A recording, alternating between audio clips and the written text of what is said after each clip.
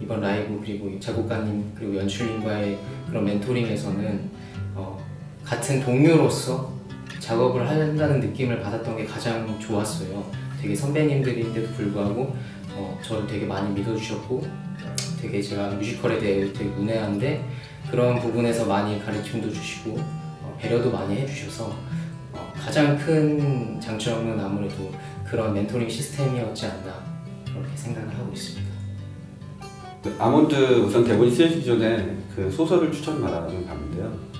사실은 커피숍에서 혼자 그냥 아, 오늘은 그냥 3분의 1만 읽고 가야지라고 생각했다가 그냥 다 읽게 되더라고요. 너무 좋아져. 다음이 되게 궁금해져가지고 우선 제일 먼저 있었던 게 10대들 되게 많이 관찰했어요. 뭐 유튜브도 많이 보고요. 아니면 정말 고등학생들만 지나가면 쟤네 무슨 말 할까 막 이런 것도 막 관찰하기도 하고 그래서 우선 제일 좋았던 게 관찰하면서 제일 좋았던 게 확실히 어른들보다 많이 웃고요.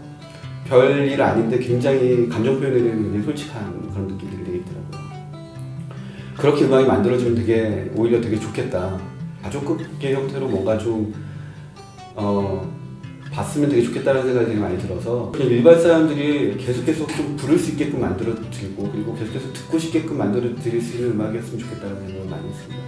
가장 고민을 했던 건 이게 원작이 이미 많은 사랑을 받았고 이미 원작으로서도 충분한 가치가 있는데 이것을 뮤지컬로 옮겼을 때 어떻게 무엇을 보여줄 수 있을까 어, 그런 고민을 좀 많이 했던 것 같아요. 특히나 이게 주인공이 감정을 못 느끼는 음, 사람인데 뮤지컬의 노래들은 대부분의 어, 노래들이 감정이 되게 터져 나오듯이 노래로 발현되는 건데 그런 두 개의 균형을 잡는데 아무래도 좀 가장 음, 신경을 많이 썼고요. 그리고 남녀노소 모두가 좀 즐길 수 있게 그런 내용으로 좀 개발을 하는데 아무래도 좀 중심을 둔 것 같습니다. 이 작품이 뮤지컬로 제작이 되었을 때 뭔가 더 입체감이 있었으면 되게 좋겠다는 생각이 들고요.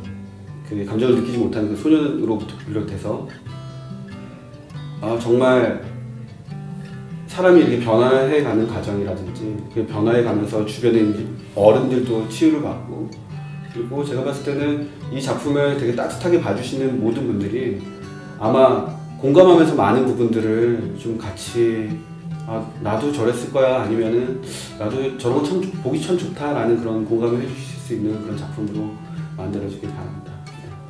극장에 찾아오시는 분들의 연령층이 좀 넓은 작품이 됐으면 좋겠고요.